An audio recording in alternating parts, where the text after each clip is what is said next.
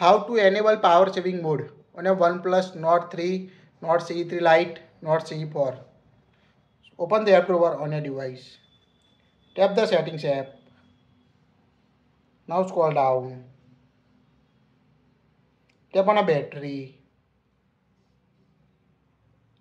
Here you can see battery usage since last charge or screen on since last charge time.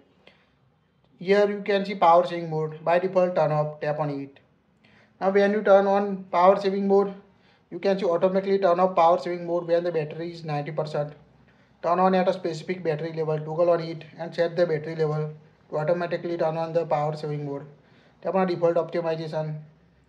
When activate power saving mode on a OnePlus Nord, it will reduce screen brightness, change the auto screen off time to 15 seconds, disable background synchronization and lower the screen refresh rate. That will help helpful to increase the battery life of your OnePlus Nord devices.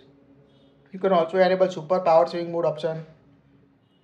Tap on a turn on to activate a super power saving mode. Now you can see only default available application on your device. Tap on a plus icon and select the application you want to add. Here we select this application.